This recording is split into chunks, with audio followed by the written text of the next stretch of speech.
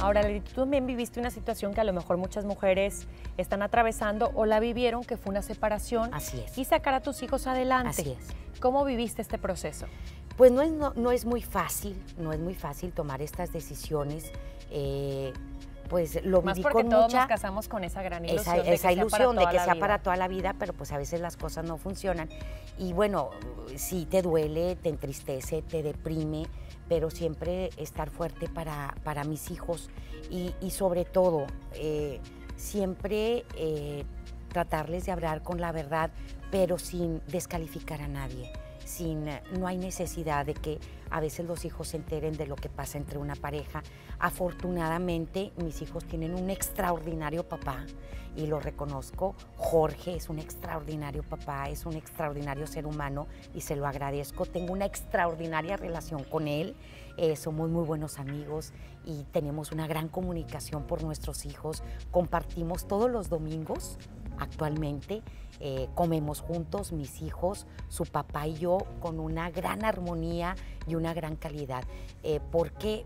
Porque lo que pasa entre la pareja, los hijos no lo tienen por qué sufrir.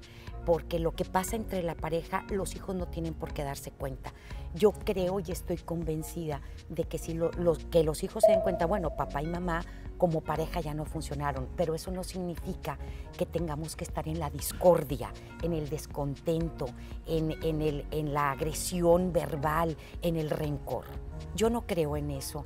Eh, eso uno lo tiene que dejar atrás y tratar de renovar una relación con el, padre de tus hijos y, renovarla de la mejor manera, de una manera armónica. Eso es muy inteligente porque eso les permite a ellos crecer emocionalmente muy bien, porque hay muchas parejas que se separan y muchas mujeres y todo el tiempo están machacando contra el papá y le dicen a los hijos es que tu papá el tal por cual y, y- habla el papá y la señora les cuelga, uno les permite verlos y no se dan cuenta el daño que le están haciendo a sus hijos. Entonces, hay que renovar y hay que restablecer esas relaciones de amistad, porque siempre ese hombre va a ser el padre de tus hijos hasta el día que se muera. Y lo mejor es tratarlo con cariño, con respeto, con amabilidad, para que pueda haber un buen entorno, aunque ya no dices, tengas una pareja. Y como tú dices, como lo que es el padre de tus el hijos. padre de tus No hay hijos, que olvidar así es. eso. Así es. Y si tienes un buen padre, pues adelante. Yo en mi caso no me puedo quejar. Mis hijos tienen un extraordinario padre y se lo agradezco mucho. Para todas aquellas mujeres emprendedoras o que no se han dado el paso a lo mejor de independizarse, de salir a trabajar, que cada vez es más necesario que las Así mujeres es. aporten a la economía. Así es. ¿Qué les dirías, Milet? Pues que le echen muchísimas ganas. Las mujeres afortunadamente tenemos la capacidad para dividirnos en cuatro, ¿sí? Y cuando uno hace las cosas con pasión, con muchísima pasión y con muchísimo amor, les va a ir muy bien. Que no tengan miedo a nada, que se atrevan a hacer el trabajo, que se atrevan a emprender, pero sobre todo que la mejor empresa es la familia y son los hijos.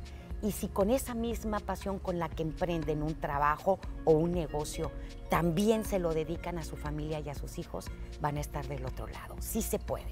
Muchísimas gracias. Al Leti. contrario, al contrario, Anto, muchísimas gracias Al a ustedes, no, a de ustedes y gracias a Mujeres desde la Raíz. A, a ti por el tiempo que nos dedicaste Gracias. y bueno, un placer como siempre escuchar a una de las mujeres más admiradas, no solo de la televisión, sino del Estado. Un ejemplo a seguir, mi querida gracias. Leti Benavides. Gracias, gracias, Anto. con más.